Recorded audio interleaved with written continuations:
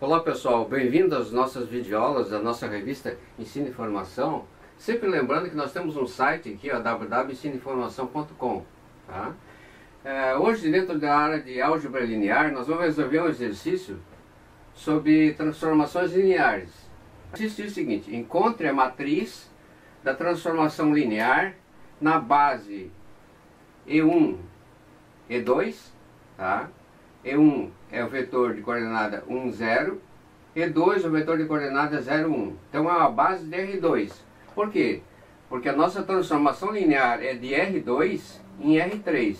Ela vai pegar um vetor, nossa, nossa transformação linear T, aplicada a um vetor que tem coordenada x, y, vai levar num vetor que tem três coordenadas aqui em R3, da seguinte forma. A primeira coordenada do vetor em R3 vai ser x a segunda coordenada vai ser x mais y. E a terceira coordenada vai ser 2x menos y. Tá ok? Vamos encontrar então essa matriz dessa transformação linear. É muito importante a gente salientar que é, para fazer um exercício a gente tem que se embasar em algum princípio, algum teorema. Tá? E aqui para encontrar a matriz da transformação linear, dr2 e dr3, a gente tem que se apegar a um teorema que diz que aqui, na, aqui é o contradomínio, né? Nós vamos ter a imagem da função aqui no contradomínio, tá? E essa imagem da função t, tá certo? Ela vai ser gerada, tá? Por vetores t aplicado aos elementos da base, tá ok? Então, nós vamos pegar então t, t aplicado a E1, tá certo? e T aplicado no E2, certo? Vamos colocar aqui. Dois. Esses dois vetores aqui, ó, na verdade, então, eles vão gerar, gera, gera, geram, né? A imagem, imagem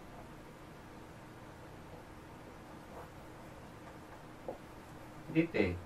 Tá certo? A imagem de T aqui em R2. Então, aplicando T em E1, T aplicado em E1. O E1 para nós, isso aqui é a nossa base canônica. Base canônica. Canônica de, de R2. Tá ok? A base canônica. Aquela base... Uh, é, a base é, a, a, usual, né? Existe outras bases que não seja a constituída do vetor 1001, tá ok? Então esses vetores aqui são unitários, tá? Porque tem norma 1 e são ortogonais, tá ok? Então por isso ela é chamada base canônica, base ortonormal. Bom, T aplicado ao vetor 1, 0 vai me dar como vetor o quê? Aonde x é 1, tá certo?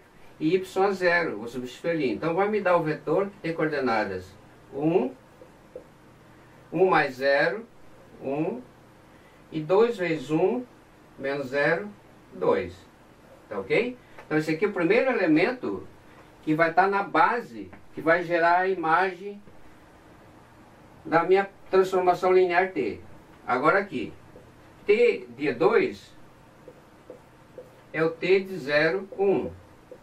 O que, que é T de 0, 1? Agora aqui, x é 0, y é 1. Então aqui dá 0. Aqui é 0 mais 1 dá 1. Tá certo? E aqui 0 menos 1, menos 1. Tá ok? Então esses dois vetores que estão aqui, ó, vão formar uma base. Base de R3, tá certo? Eu estou levando uma base e outra base, ok? Então, o que, que nós vamos fazer com esses dois vetores aí? Note que esses dois vetores, do jeito que estão aí, eles formam para nós uma matriz aqui, ó, tá certo? Então, nós vamos desperdiçar espaço no quadro, porque nós temos aqui uma matriz.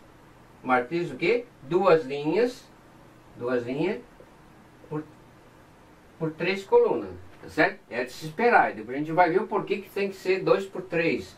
Então, se a transformação linear é de R2 em R3, tá certo?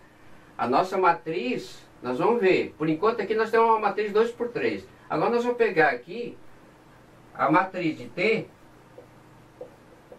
matriz de T, como sendo a transposta dessa matriz ali. Vou chamar essa matriz aqui uma matriz A. Então vai ser a transposta. Vamos apagar a parte de cima aqui, que não precisamos mais.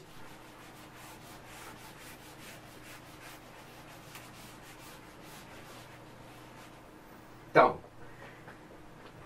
vamos chamar a matriz de T, matriz de T. Tá ok? Então, nossa matriz de T vai ser o que? A transposta dessa matriz. Então, o que é linha vai se transformar em coluna. Então, 1, 1, 2, 1, 1 e 2. O que é linha? Coluna. 0, 1 e menos 1. Então, essa aqui é a nossa matriz da nossa transformação linear na base E1, E2 de R2.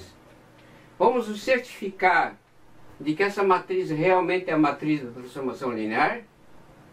Agora vamos nos certificar de que realmente essa matriz que está aqui, chamada matriz de T, vamos até escrever melhor aqui, mais grossa, matriz, matriz de T, tá certo?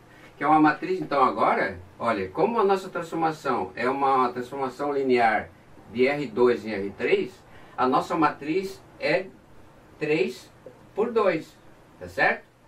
É a transposta daquela matriz que tinha os vetores ali T1, TD1, TD2. Então, vamos pegar a nossa matriz 1, 0, 1, 1 e 2 e menos 1. Vamos aplicar essa matriz a um vetor de R2, certo? Então aqui é uma matriz 3 por 2, nós vamos aplicar numa matriz 2 por 1. Tá certo? 2 por 1. Então o que se espera aqui é uma matriz 3 por 1, um vetor. Tá? Então eu estou pegando um vetor, estou levando um vetor, que vai ter que ter três coordenadas. Uma, duas, três. Então aqui 3 por 1. Posso fazer produto? Posso. Posso fazer produto porque o número de linhas aqui, de colunas, é igual ao número de linhas aqui. Tá? Então, produto da linha e produto coluna. 1 vezes x, x, mais 0y, x. Então tá ali. 1 vezes x mais 1 vezes y, x mais y. Nossa segunda coordenada do vetor em R3 aqui. 2 vezes x menos y. 2x menos y. Acabou. Então temos a nossa transformação linear realmente, né? Com a nossa matriz, que é essa aqui, ó. É, matriz, vamos colocar bem claro aqui. Matriz. Matriz de T na base. É, vamos colocar aqui B. E1, E2, de R2. Onde o E1 para nós é um zero, tá? E o E2 é igual a 0,1, tá? O importante salientar é que vocês nunca podem esquecer de que nós temos que sempre fixar uma base aqui, tá certo? Por isso que eu reforcei no final aqui, lembrar que nós temos uma base. Se eu mudar a minha base, os meus vetores na imagem vão mudar também.